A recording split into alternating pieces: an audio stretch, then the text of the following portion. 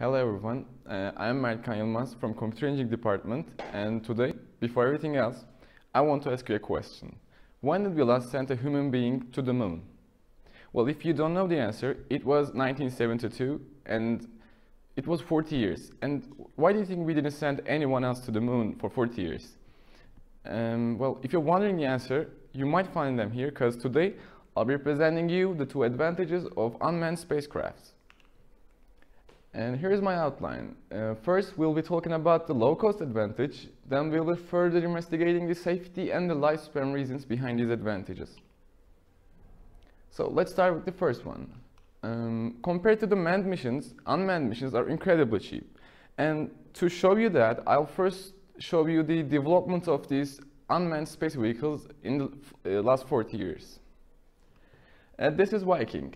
Uh, Viking was the first one. It was launched in 1976 and it was big, it was immobile and it was not very useful, but it made some scientific development.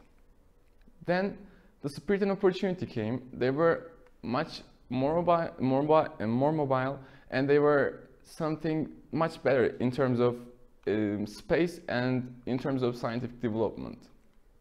And the CubeSats, they were they are the future. They are these 10 centimeter cube satellites, and you can send a thousand of them, and even of them half, even if half of them were broken, you wouldn't care, because 500 of them will be still working, and you can send a thousand humans to the moon uh, and space because they will need food and any other thing.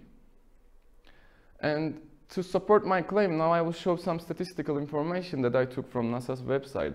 As you can see here, NASA estimates a total of $209 billion to uh, spend on the shuttles to space. But Hubble uh, has only cost $10 billion for the last 25 years. It's an in incredible number when you compare those two.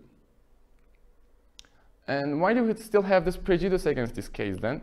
Well, Stephen Hawking from Cambridge University and very well known around the world has some idea on this topic. He stated that Robotic missions are much cheaper and may provide more scientific information, but they don't catch the public's imagination in the same way, and they don't spread the human race into the space, which I am arguing should be our long-term strategy. If the human race is to continue for another million years, we will have to boldly go where no one has ever gone before. And he was right. People are not inspired by this data comes from Hubble, but they are inspired by this footprint on the moon. And people still think that to show you that, uh, I took this chart from National Academic Press, and let me explain you this chart. As you can see, in the y-axis, we have the uh, public's percent percentage of support, and the x-axis, we have years. And in the purple ones, we see a slight decrease, which is something good, because people start to think that shuttles are not that kind of useful anymore. But as we can see, in the blue one, we have some kind of increase in the recent years, and which is something bad. People still, still think that moon landing was worth it. Maybe it was worth it, but we could have done it in a much cheaper way with the help of unmanned spacecrafts. Now I'm moving on to my second advantage. The risks of manned vehicles are just cannot be ignored. And to show you that, I will show you some of these risks. The bone damage. When you stay longer in the space, your bones become more fragile, you're more prone to the injuries. And this is very bad when you return to Earth. Radiation. Um, Earth has this atmosphere that protects us from this UV light, but in the space, there is no such thing. Your suit protects you a little bit, but not that much. And risk of death. As you know, there is no equipment on Earth that's worth losing one of this crew. We already lost 18 people out there, and we don't need to rise this number.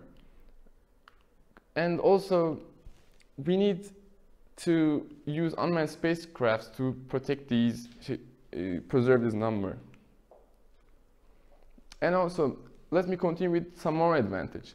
The lifespan as you can see in this chart that I took from chartgeek.com, the Voyager 1 was launched in 1977 and also there's some of them from 2004 and some more from the past. As you can see, they could stand, stand longer than 15 years, 20 years, maybe Voyager 1 was 40 years. But a human can't stand there for more than a year, not even a year. So this is an incredible advantage in that case. And the repairability. Um, we can repair the closed unmanned, unmanned, unmanned space vehicles, as you know. Uh, Hubble was broken in 1998, and two astronauts were sent to fix it. Uh, here, this picture was taken there. Two astronauts were fixing it, and they fixed it, they upgraded, they made it even better. To conclude that what we have talked today, we have talked about the two advantages of unmanned space vehicle, um, which are the low-cost advantage and the safety and the lifespan reasons.